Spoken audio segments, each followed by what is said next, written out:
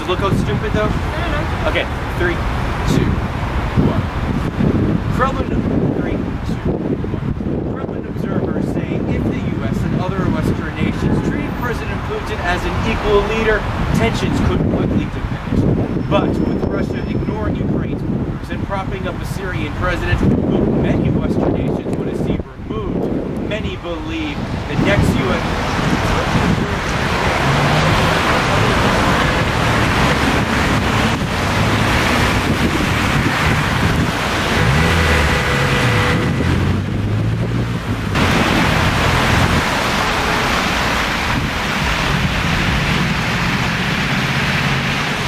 Yeah, you may want to record a new, a new record.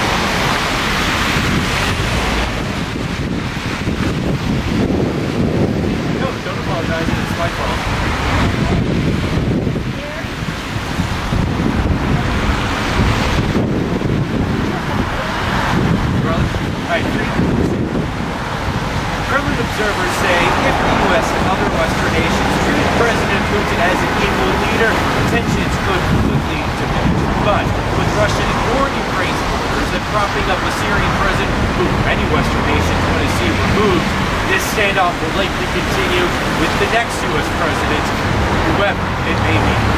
Kevin Ozebek, TRT World, Moscow.